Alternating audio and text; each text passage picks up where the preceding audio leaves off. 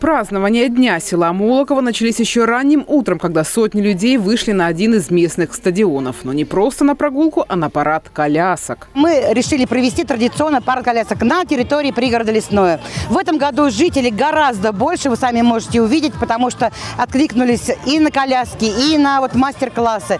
Поэтому у нас будет первое мероприятие, которое открывает наши большие праздничные мероприятия. Чего здесь только не было. И печь, и букет цветов, и скорая помощь, и даже Красная площадь. И все это сделано на основе обычной детской коляски. Буйство фантазий ничем не ограничивалось. Можно было даже в космос полететь. Мы долго выбирали, долго думали, но так как мальчик наш долгожданный, у нас две девочки и третий мальчик, и мы решили, что он будет космонавтом. Ну, сын космонавтом, а дочка кем ты стать? Кем ты хочешь стать? Доктором. А в космос хочешь полететь? В космосе доктор тоже нужен.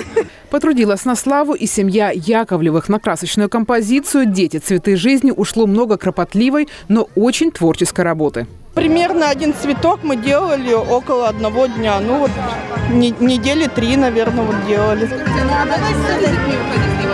Ну, если честно, она будет стоять и красоваться у нас до следующего праздника.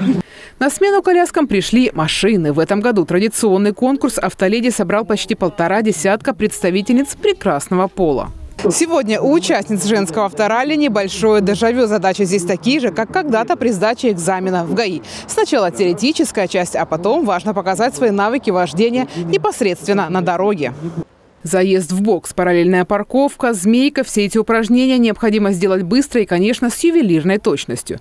Юлия Клюева была за рулем одной из самых мощных машин и, несмотря на габариты, справилась с маневрами блестяще. Если э, вспомнить мое детство, и когда папа 8 лет научил меня ездить на тракторе, то для меня пересесть, ставший более взрослый, пересесть на трактор большого, более меньшего размера, нет, не трудно. Но маленькая машина для меня как-то не машина. За плечами у Анны Семичевой 10 лет водительского стажа на дороге. Она чувствует себя уверенно, а на конкурсе так вообще прокатилась с азартом. Было легко. Трасса, в принципе, ну, каждый год я, во-первых, и участвую почти каждый год. Трасса периодически меняется, вот, но в принципе, было все нормально. Боялась ехать первой, потому что тяжело, но ничего, справилась вроде как. Справились с волнениями и показали прекрасные результаты почти все автоледи. И по признанию участниц, главное здесь не победа. Девчонки, конечно, молодцы у нас. Они, некоторые участвуют у нас не первый год в данных соревнованиях, соответственно, год от года все лучше и лучше. Я думаю, скоро все будут призерами. В течение дня в Молокове проходили различные мероприятия. Завершился же вечер праздничным салютом. Екатерина Коваленко, Сергей Ларин, Екатерина Давлятова. Видное ТВ.